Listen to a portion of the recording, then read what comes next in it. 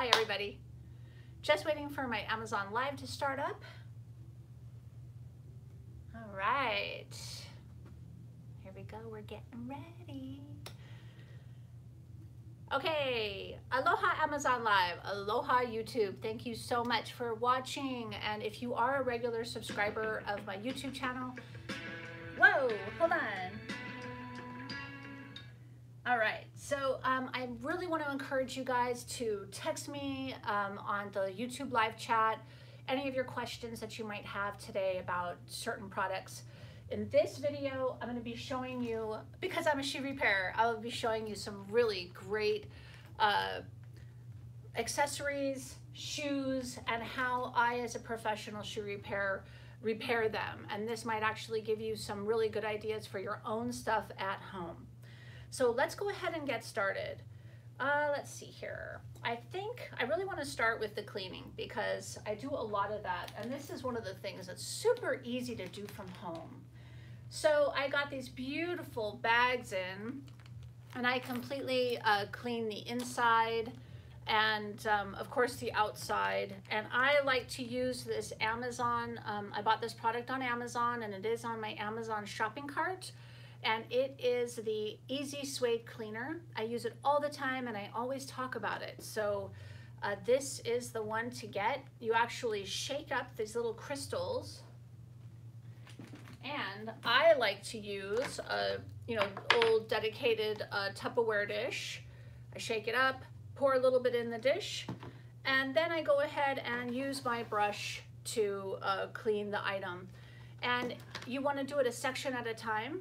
So I would do a, a part here. I'd probably do this whole panel because uh, this doesn't soak up water very fast. And then I take a towel and wipe it off, but you wanna scrub it and get the suds up on this.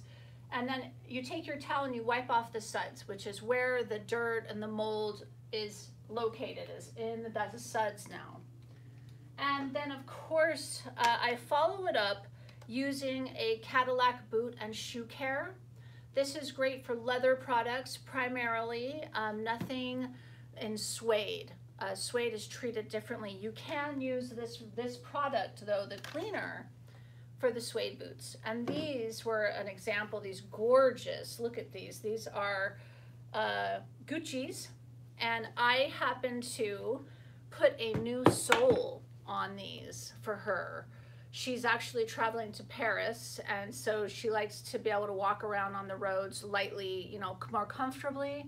So if you have a cobbler in your area, you could definitely have them do, it's called a crepe or a taupe half sole and heel. I put hers in a quarter inch because she wanted a bit more squish. And you can get all kinds of sizes. You can get them from super, super thin um, to a thicker like this. So this was really beautiful. Isn't that just a gorgeous? It has this nice uh, zipper here. She actually has shoe trees in it, which is nice. It keeps them, it takes, it keeps them well. Okay, so here's this gorgeous Prada. I like showing you guys these things because I, you know, my closet's not full of Pradas. so I love seeing their designs. I mean, this is a really cool design. It's just so flat. It almost looks like from the, um, you know, um, gosh, you know, really older, older days. I mean, what, 1300s or something when they wore really uh, simple lines. Okay, and then, so we have that Prada. We did this bag, we did the Chanel briefcase. This is just so stunning. So I used to work at Chanel, as I've mentioned before, and in one of their boutiques, and it was super, I got to see these beautiful bags. We actually handled these with white gloves as we were showing the client. Everything is so delicately wrapped in tissue paper and beautiful, and I just love this bag. So I actually, uh, you know, I took out all, this woman was smart to store her bag with stuffing. So it really keeps the shape and it came with another cloth bag. So she's using that, I like that. So I went through each one of these and I just thought I'd show you because it's such a durable bag. You know, it's got this nice front pocket and you can tell that this is the briefcase. So then on the inside, again, I took out the padding and I went through and cleaned the inside and the outside. But then, because of this material, Uh, for instance, this liner is a leather liner, very, very durable. In this bag, the liner is like a silk. It's this beautiful, or a satin. And so on this bag, on the leather bag, I was able to paint some of the areas that showed a lot of wear. And the paint just disappeared, but it made the scratches go away.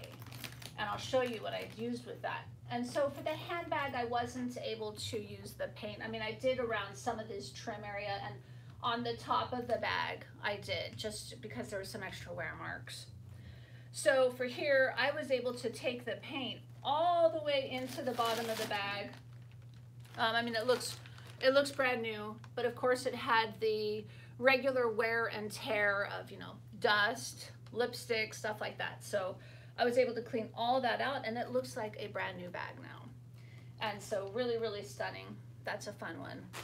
Fill it back up.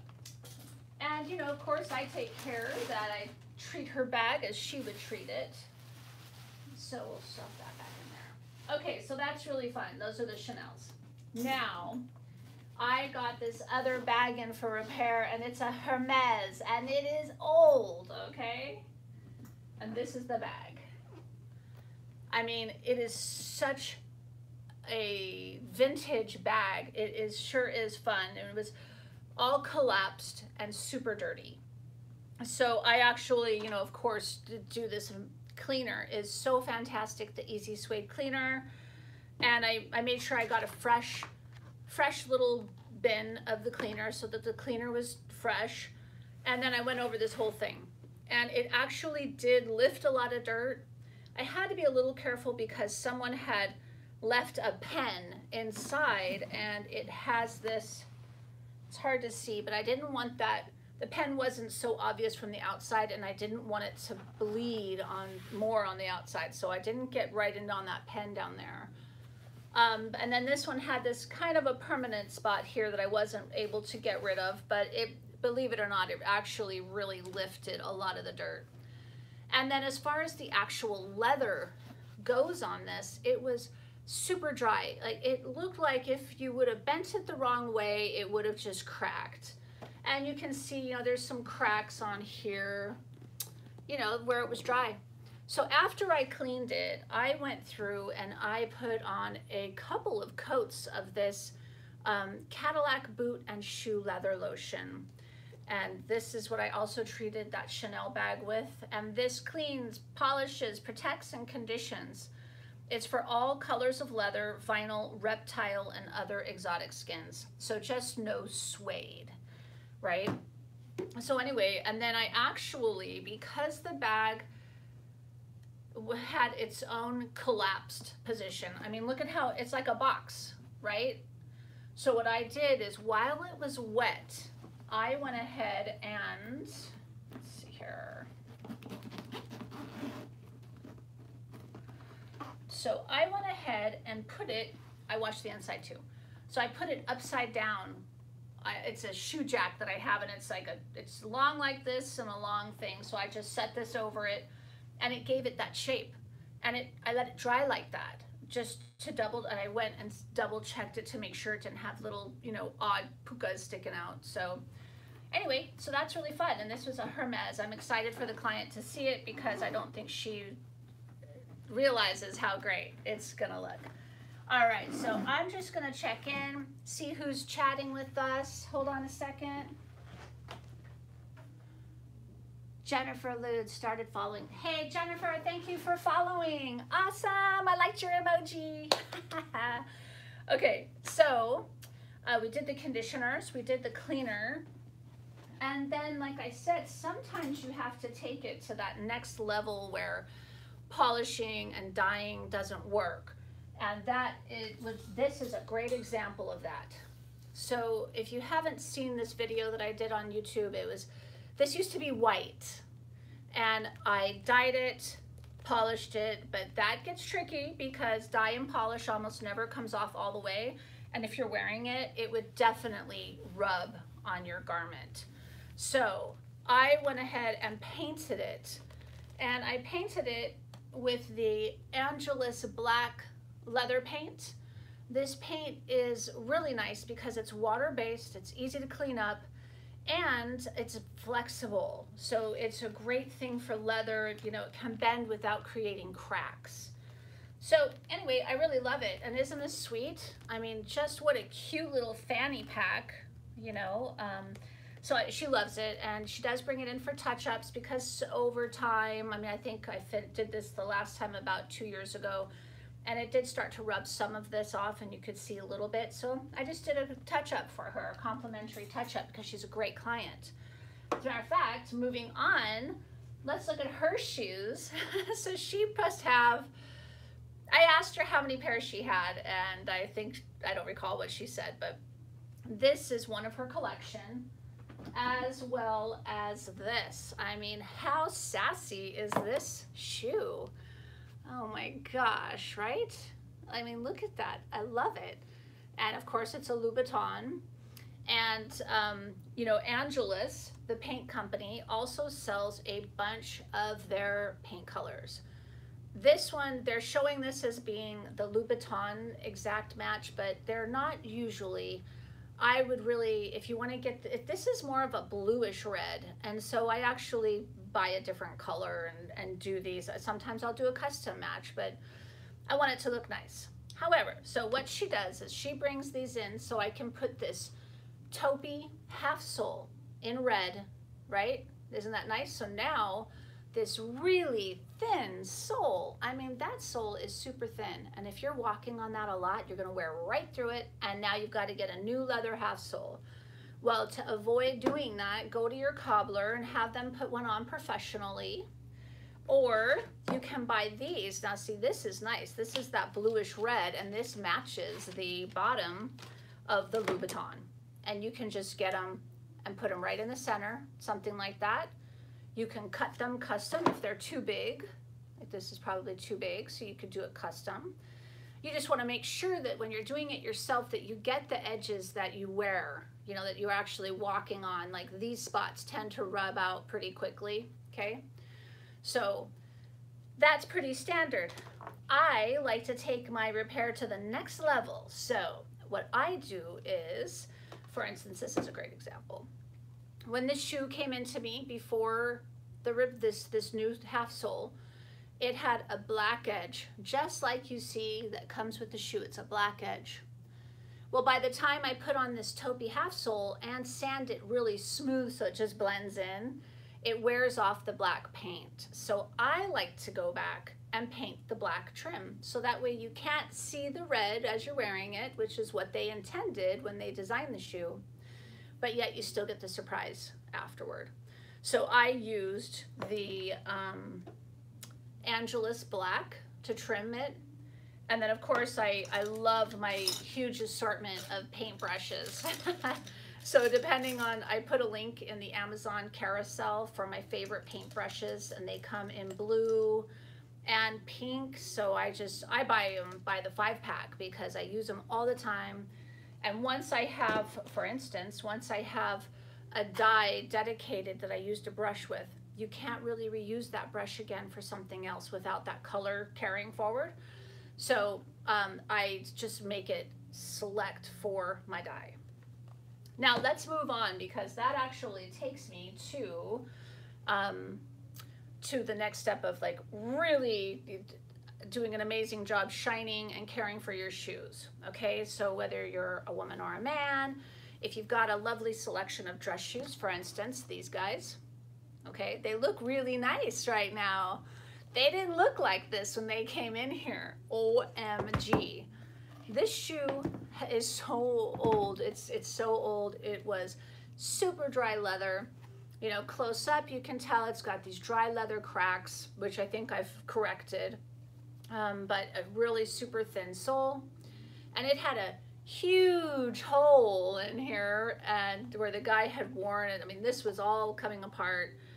And so I gave him a new leather half sole and heel. And then I went ahead and I dyed it. And for this, this is called Marine Cordovan.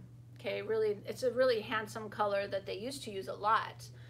Um, so this is a uh, Bruno Magli, and I used, I first I cleaned it, then I conditioned it a lot, okay? Then I went ahead and did a leather dye. So I dyed it and I used the Cordovan, it was the perfect color. And with Cordovan, um, and I like the brushes because I like to be able to get inside these little cracks here. So um, that's what I like to use that for. These Angelus dyes come with a dauber included in the box. And the box looks like this, but you actually take and punch the hole in the back, put your dye in there, and then I like to put my brushes and they sit on the shelf. So after I dyed it, then I went through with a cream polish from Moneysworth Best, which is also in the shopping carousel, and I'll put the links down below for my YouTube viewers. And this is a moisturizer for the leather, but it has a little bit of a tint, okay? So it actually nourishes the leather even more. And then I don't wipe that off. I left that in there, and I went ahead and finished it off with the uh, Marine Cordovan uh, Lincoln Stain Wax, okay? It's really great. And I love to use my horsehair applicators. They make life so much easier. If you are going to invest in a shoe shine kit, get this. I did put in the Amazon shopping carousel a choice of Moneysworth Best that has two choices. It comes with black and then another one comes with the white. So um, you can do browns and blacks, okay? That's a good way to start. You know, I know it's kind of crude, but I just put everything I need in one pile. So when I did, uh, and I separate them by colors. So here's this beautiful men's Cole Haan, who, which also did not look like this when it came in. It was pretty beat up. He had worn through the heels. I built them up. And then of course I dyed them because it really penetrates and gives that dark luster. Then I went ahead and did my Moneysworth cream polish, left that on there and see, I just take a little uh, old t-shirt that I've cut up and use that to apply it. And then I go through and I, I come back with the Lincoln Stain Wax and the black. And of course my trusty hair, horsehair dauber, right? It makes it easy to get around, especially all of these like little tassels. It makes it so much easier to get in there. And then of course I buff it off with one of my horsehair brushes. Okay, these are so ancient. I've had them forever. All right, so that's my uh, shoe shine kit. And like I said, I, I personally have it divided by color because I do so many shines in a month. And for those of you that uh, are just checking in, I am Teri Edmonds. I own my own store in Maui, Hawaii called If the Shoe Fits. I do boots and I sell boots and shoes and sandals, but I'm also the island's only shoe repair. And I do all kinds of really cool stuff. I get to see these really neat, neat designs. So let's keep moving on. And we're gonna get now to, um, if you've got, let's see, we covered those. Oh yeah, I show you with the polish. So this is this gorgeous, she's one of my regular VIPs and this beautiful uh, Prada boot. Isn't that gorgeous? And this was an interesting brown color. So I didn't put brown on it. I actually put a neutral on this just to give it the nourishment of the moist, you know, the moisturizer kind of cream and then buffed it out with a neutral brush. And I put new heel caps on there for her. And these were another one where um, they actually, this brand is no longer in existence and it's pretty popular. I've gotten these over the years, really well made. And I put on a non-slip half sole here and I also put a non-slip on the heel just so that she can keep the integrity of the original sole. All that has to happen when you wear through these is, you, you know, your cobbler peels it off, sands it, and puts a new one, shapes it. Now, when I shaped it, the same thing happened with that um, Louboutin, was that it took away the black edging. So I went ahead, I put my Topy on, and then I went around with my Angelus black paint, I kid you not, and just trimmed it out very del delicately, making sure not to get the gray suede. And I also cleaned this shoe, this suede shoe, with my cleaner for her. And when the suede dries and your shoe's all done with suede especially, you can take your dry nylon brush and just sweep the nap. Okay, it softens it and you can kind of change the color, the direction. When you change direction, it kind of changes the color of the suede. But see, it's nice. It gives it a nice consistent look. Boom, you're done. She's gonna love it. So I'm very excited. Okay, then um, another one which was kind of fun was this. This is another VIP of mine. She has the sweetest, yummiest, most non conservative shoes. She does the colors. Whenever I brought in like a Manolo Blahnik, they're like beautiful pieces of art, okay? And I thought this was really sweet. You know, this is a suede. And then they have this like satin, you know, upper. I put on a new half sole so that she doesn't wear through it. I did this to two pairs that she's got here, but you know, when you are looking for shoes, whether they're $11 or $1,100, it's always amazing to look at the detail and when they put things into these seams, how they keep them from wrinkling and just the, this, oh, I mean, this has stitching down the back of that heel that is just fantastic. Really wonderful shoe. So this would be really great, and I'm gonna do it with you. I like to put this, my, um, this is my Cadillac Shield, and it is actually a Scotchgard for light things like this. So I'm just gonna put some Scotchgard on that to keep it clean for her. And I'm also gonna do that for this nice suede boot because she's gonna be tromping around, you know, Paris. So I just do a nice little, little dirt on there. So beautiful, beautiful, beautiful. We love that. Let's just do the other one since we're here. Get that for her. Right? We'll let that dry. And why not do this one? I just cleaned it for her. Let's make it stay nice for her. It won't discolor. There's that, this one too. I mean, we could even Scotchgard this bag here on the top so that when they use it again, it won't get dirty, like that. Another one over here. Little something, easy peasy. All right. Now, just a, one last thing. Oh yeah, this is fun. One of the other things I do, I do a lot of belts.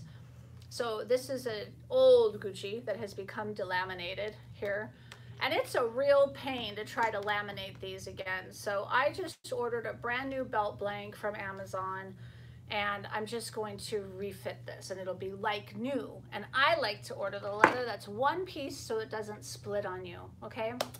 So that's nice. Now, something else that I have in the Amazon shopping carousel is a list of rubber soling material. I get this question a lot and so there are different ways you can use it. You can either use it for Birkenstocks. I used a Birkenstock material, but it's the same stuff, okay? Um, so you, and especially this is for those people that have Birkenstocks, because you guys asked me about it. So um, I put a little bit of clear coat on here, which is called the, I had a bottle. Where are you? Oh, this is it right here. Cork Renew it really it's very similar to like Elmer's glue. You know how it was white when you got it out of the bottle, but it turned clear. That's basically the same thing. It goes on white and it turns clear. I happened to, I think the client had done that before, so I sanded the old buildup off so it got this nice raw finish. Then I put the uh, renew on it and then I let it dry. So that's really fun. And I gave her a new sole, of course. Okay, so the other thing is I got this really cute Chanel Hello ballerina slipper. This is also that client who's going to Paris. so I she wanted more cushion, so I went with a quarter inch and added a cushion to this. And hi Stevert. Thank you so much for watching. I really appreciate it, okay? Anyway, so uh, this was kind of interesting to do because you, you know, I didn't want to ruin the flexibility. So I did a half sole. It had the rounded heel part. So I, I cut that custom, sanded it first before it went on the shoe. All right, so that's pretty fun. A nice little Chanel. She'll be able to kick those around for sure um, all over Paris. I hope she sends me a refrigerator magnet. that's what I collect. Okay. So anyway, uh, we've got the Chanels. Now, I also have this client that loves her Michael Kors. And the Michael Kors sole, original sole, had completely disintegrated. It was plastic, so I rebuilt it to look the same. And I went with about an eighth, it's a little bit bigger than an eighth of an inch soling material. Oh, you know, I think it's time for me to go to work, you guys. Hey, thanks for joining me. I love you. I appreciate you guys for subscribing. And that's my cue. Aloha from Maui.